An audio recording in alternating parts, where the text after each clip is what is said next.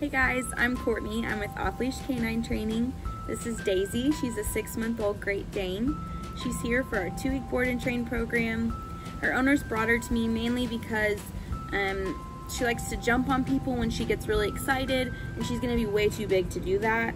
Um, and they also want to be able to take her out in public and enjoy her um, out and about. So um, these are some things we're going to work on over the next two weeks. She's also very nervous out in public and around new people.